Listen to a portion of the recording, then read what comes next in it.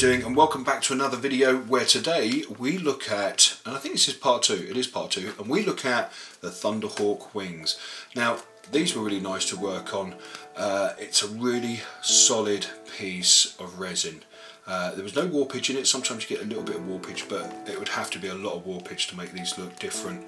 Um, but I was very lucky very clean, very nice, uh, if you can that's the compressor in the background, uh, very nice finish to it all as well. So it was not a lot of cleaning up, so I thought we'd take a quick look at this. Uh, so I've used mostly Minotaur paints um, for the for the main engine section, the black Raven Black.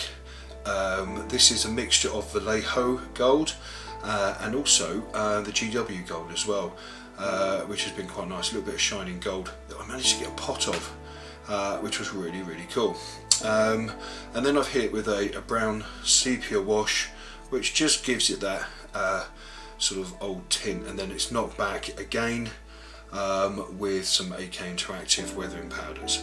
Um, the main uh, yellow was um, Army Painter and then I've used um, GW's yellow over the top of it uh, just to bring it back after I hit it with a shade, uh, a wash sorry. Uh, and then it's just got normal chipping effects which were done with a sponge uh, and then used with a, a, brush just to, to bring it out somewhat. Um, it was a really nice piece to do. I'm really I'm really enjoying the Thunderhawk because it's it's a bit of a pain as a model but it's come out quite nicely. So if we look at the bottom section here we've got the bombs now ideally uh, I should have connected the bombs uh, to that and then this to the main wing uh, we've like magnetized it. But it was easier just to stick everything in place um, and uh, the idea is my friend wanted the bombs to be detachable. So uh, I'm still working out how I'm going to do that. The magnets I've got are slightly too big um, and I think it would just ruin it uh, if I started magnetizing them now.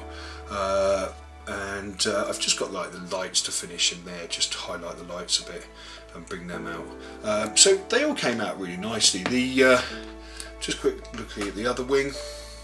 Again you know it's a nice simple process. I kind of did these back to back. Um, it was easy to do and I really enjoyed doing it. So uh, it was quite good fun. Um, so I'm going to see you guys soon. I'll see you in the next video. You be safe you be good and I'll see you very soon